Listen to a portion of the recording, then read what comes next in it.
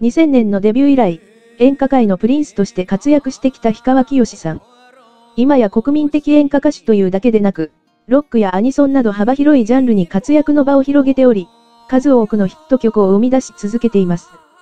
今回は、そんな氷川さんのシングル曲で、人気投票を実施いたします。皆さんの好きな一曲を教えてください。まずは数あるシングル曲の中から、オリコンシングル売上ランキングの上位3曲を紹介します。デビュー以来、幅広い層から絶大なる人気を得て、演歌界に新風をもたらしてきた氷川きよしさん。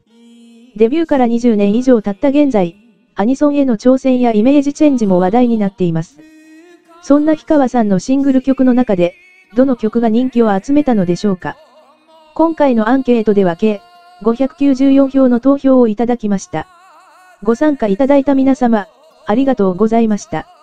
それではランキングの結果を見ていきましょう。第3位にランクインしたのは、2021年9月14日にリリースされた、ハッピー。明るく爽やかなポップスで、氷川さんの表現の幅を感じられます。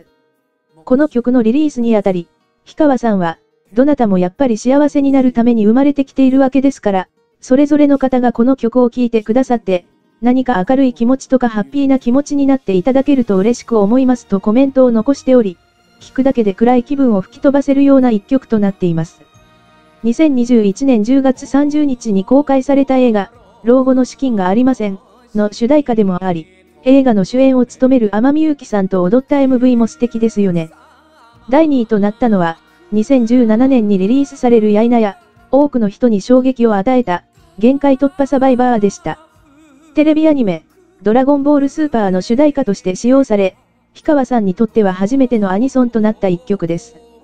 ハードロックな曲調とドラゴンボールの世界観を表現した歌詞、そして圧倒的な氷川さんの歌唱力は、何度聴いても引き込まれます。2019年に YouTube でコンサート映像が公開されると Twitter トレンドを席巻し、約10日で再生数100万回を突破するなど、今も多くの人から愛される曲です。そして第1位は、白雲の城でした。2003年にリリースされた6枚目のシングル曲で、氷川さんの力強く凛々しい歌声にどこか儚いメロディー、そして詩的で情緒あふれる歌詞など、聴きどころ満載の一曲です。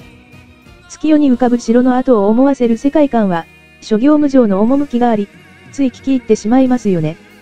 コメント欄でも一曲に絞るのは難しいけれどやっぱり、白雲の城は譲れない。カラオケの18番、と語る人もおり、その人気の高さが伺える結果となりました。